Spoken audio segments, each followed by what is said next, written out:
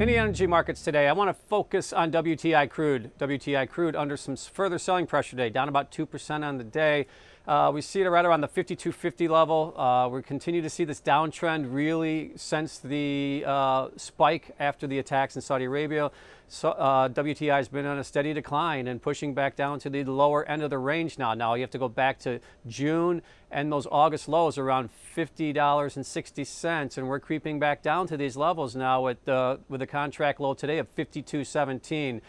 We had a couple of data points this morning, I think, that were key uh, in influencing the pricing structure, and one of them was the EIA number that came out, and we saw a bigger build than that was expected, countering the API number yesterday, which we saw a draw. So the EIA number, I think, entered in the psychology in the market right now as we continue to see this global slowing story picking up steam and now it appears to be creeping onto the shores of the U.S. And I think all of those factors are playing into the psychology in the market, and that's why we continue to see further selling pressure on the WTI space.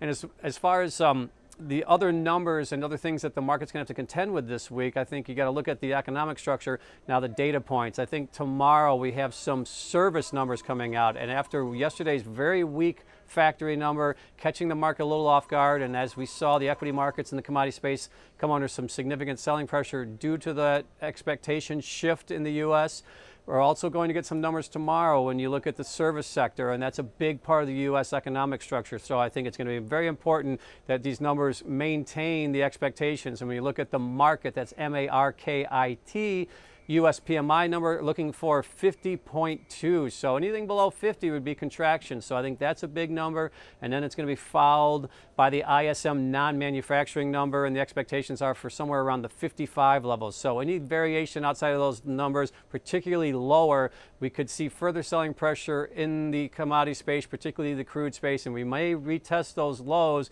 sooner rather than later around that 50, 60 level.